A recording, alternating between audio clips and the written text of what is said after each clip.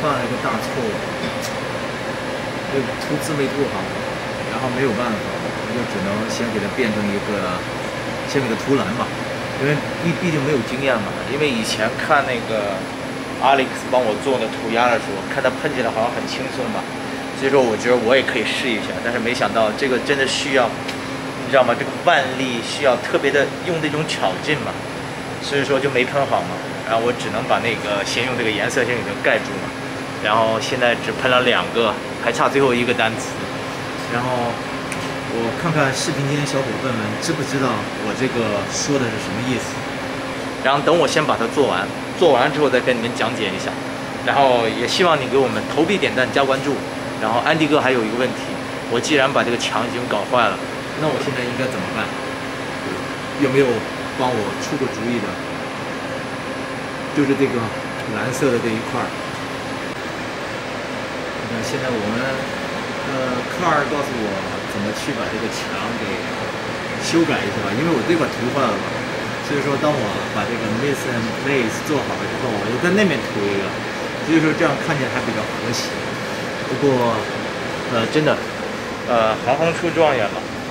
然后，真的今天是有点草率了。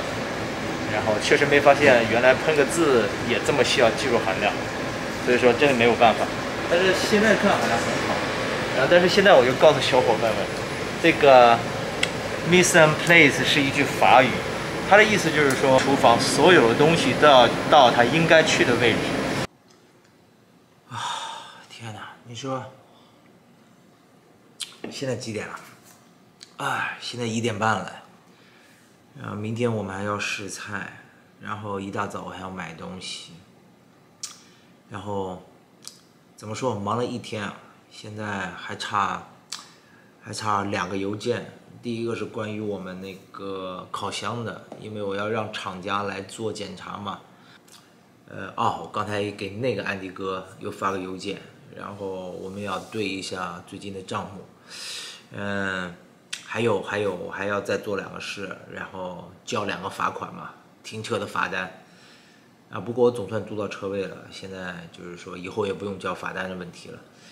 怎么说吧，现在离我们开店越来越近了，所以说，我每天早晨起床也是有一种，呃，像上大学时候那种，有一点小紧张，有一点小激动。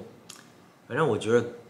还是好的，就是这个感觉还是比较好的，总比那种天天什么都不知道、不痛不痒的好。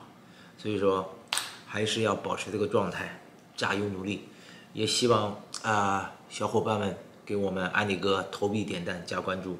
我们虽然是现在我们这两个安迪哥不常见面嘛，但是我们每天也都保持联系，然后各各司其职嘛，然后争取把我们两方面的事情都做好。然后也希望所有东西能赶快做好，然后有一个具体的时间开店，到时候，呃，我们的视频会更有意思。